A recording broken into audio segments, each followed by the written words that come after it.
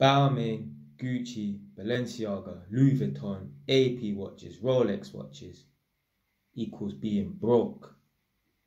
I'm the wise man. Do you know why I'm able to work things out? Like certain man might sit there and think like, bro, how's Jay able to work out these things and like, why is he so wise and that? Like, what books did he read? Man didn't read no books. Like I've said before, made jokes before, but it's a real, real shit, real talk. I'm the author that's never read a book before. I've never read a book before in my life. Maybe 80 or 90% of, of mice and men when man was in school. Uh, but other than that, I've never read a book from start to finish and definitely not at my own leisure. And I don't like reading books. Uh, but I was also able to write a book though, is it? So it's mad. Imagine being like the author that's never read a book in his life apart from his own that he, he wrote. But anyway, um, I'm a maths head. Man, love mathematics. When man was in school, I was in top set for maths. You know, like you got people them in the bottom set because they don't know shit. And you got people them in the top set. Man was in the top set for maths, but I got relegated to set two because of my bad behavior. And even when I was in set one, they put me in this class called statistics. And basically, I was like the dumbest in the class. I was like the low, lowest ranking person in the class, which was a good thing because the people them in my class in statistics, this was a class that I used to go to after school. Starts at quarter past three, finishes at quarter past four. I was the lowest ranking person in that class. But the people them who's in that class now have gone on to be dentists and. Like literally one of the youths in man's class is a dentist. And the others, one of the girls graduated law at Oxford and that. So you can see what types of caliber man was amongst it. So man was always good at maths, always been a maths head, always loved and enjoyed maths. And when I was at uni studying electronic engineering, obviously we have like the electronic engineering uh, modules to do, but then we have pure maths modules to do on the side. It's just pure maths. You wouldn't even know using an electronic engineering uni uh, HNC course.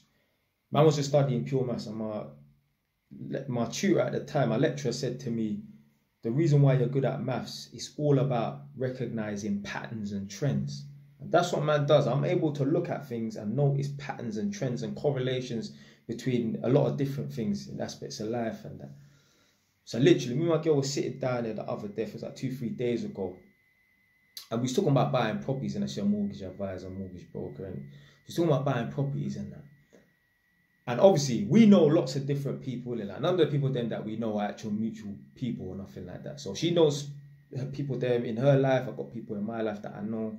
And we literally sat down and like her brethren, she's got two brethren that's got properties. Probably got more in that, but two of her brethren in that's got properties. One of them has got three properties, and the other one's just got her own property. So she's a homeowner.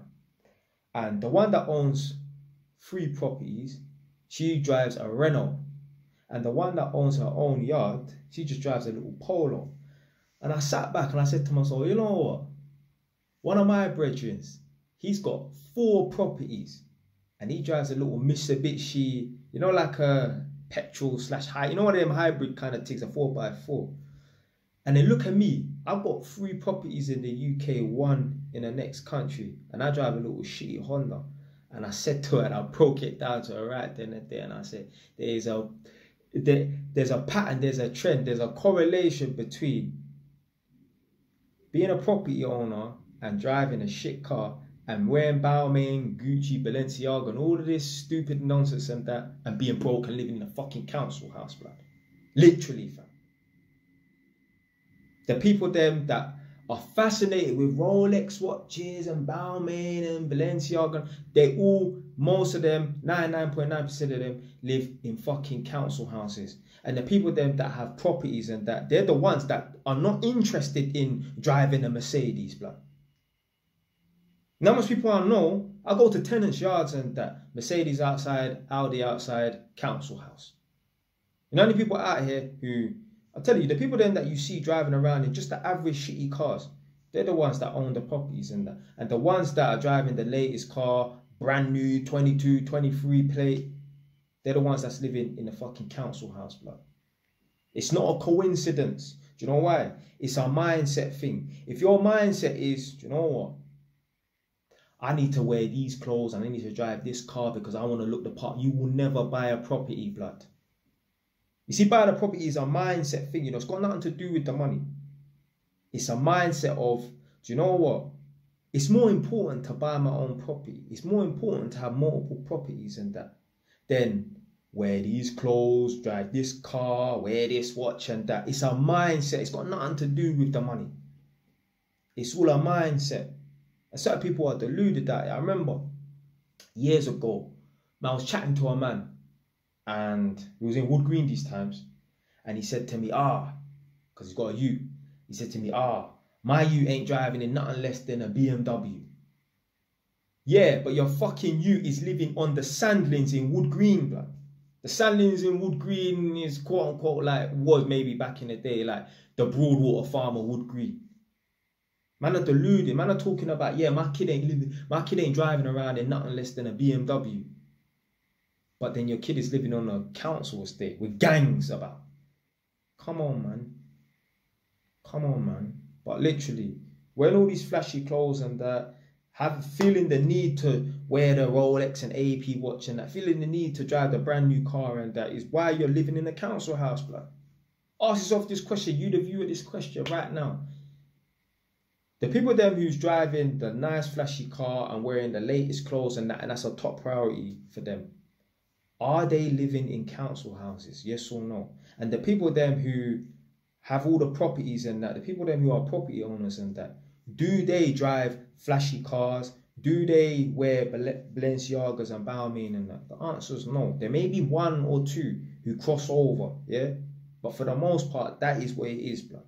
The people them that care about wearing the flashy clothes and wearing all the, you get me, all the latest garments and that, they're the ones that end up broke, living in a council house, fam. Some people will get vexed, oh, oh, my man's talking about me, or oh, they take offense to it, blood. You the one who decided to wear these clothes and drive these cars, you know. Man didn't force you to do nothing. You was the one that said, you know what, yeah, I'm gonna go and get myself an AP watch. I never made no one do nothing. I'm just bringing it to light. Obviously, there are gonna be a small select people who, yeah, they do have properties and that, and they do wear a lot of Balmain, Balenciaga, and Gucci, and that. That's cool because they can afford it blood. You should not be dressed all the time. I'm not saying if you live in a council house, you should not have not one or two, you know, branded items of clothing. I'm not saying that. But what I'm saying is when you got a wardrobe that's full of 20 grand and that, that's foolishness. There are people out here right now, they got a wardrobe 20, 30 grand. They walk around with a 20 grand watch and that, but live in a council house. Don't make no sense, fam. Your, pri- your priorities are in the wrong place, my brother. And the gal them too. There's a lot of girls out here. And then they wonder why they're poor. You see, oh, just checking the amount of time that's left on this. The reason why a lot of these people can't afford to buy a property as well, because they're in so much credit card debt, because their mind is in the wrong place, and because they decide, yeah, you know, I need to buy all these clothes, they ain't got enough money left at the end of the month. So, for example, it don't even matter what wage you're on as well, you know. If your finances are fucked and your money's not in order, you're not going to get anywhere. There's a lot of people right now, they'll be scraping to save a hundred or two hundred pound a month. So when they think to themselves, I'm scraping to save a hundred and hundred pound, two hundred pound per month, and I would need a deposit of like 25, 30 grand. That is going to take me a lifestyle, so they just give up. They just give up. The reason why I was able to save up and buy this property here Forget about the rest of them. I was living at home with my mum. Fair enough. I was earning 1800 a month. Fair enough. I was only giving my mum about 200 pound per month. Fair enough. But you know what? I was able to save about a thousand pounds, 800, 900, thousand pounds a month. But you know what? I wasn't going on all these flashy holidays and that. I wasn't driving a flashy car. I was driving a shitty 2004 Honda Civic. I didn't bother lease a new car. I didn't bother uh, buy a pair of fucking Air Jordans for 400, 500 pound and a limited edition. I didn't bother do that. If you ever wonder like why has Jay got this and like how comes I ain't got that? You were not are you were you willing to, you know, make sacrifice for three, four years? Most people are not. So don't ever question or you know I'm saying it like if you ever wondering and that why you ain't got this, you ain't got that. Do you believe you do you truly believe you're the type of person that will be willing to make sacrifice and that? Most people just live every day as it comes. YOLO. You only live once and all this nonsense and that. Bullshit, man. Save your ass clock money. Like there's some people out here. Me my girl's even breaking it down the other day. We was looking at you know like the car leasing thing.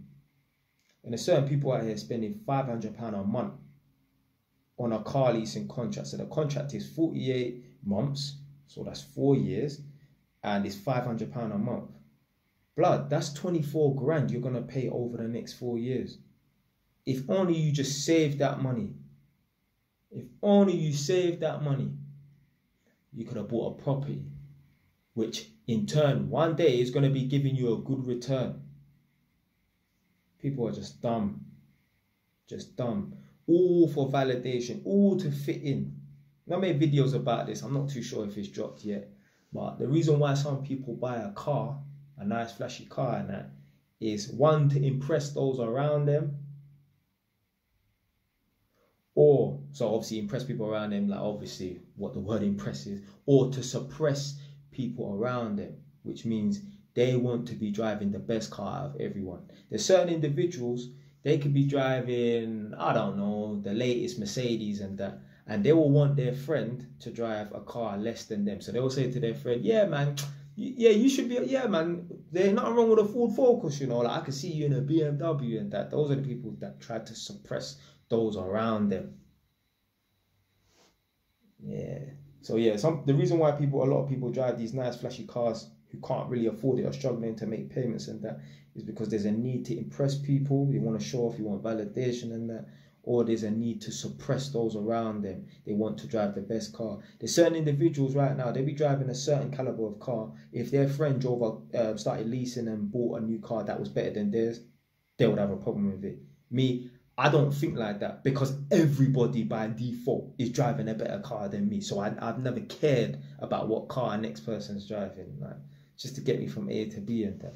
But that's it for today, man. Uh, yeah, there's just a, a, a correlation between the people them who have nice have a lot of properties and just drive a mediocre car, and the people them that drive the latest car, drip drip Balmain, Balenciaga, Gucci, LV, and that, but they live in council houses.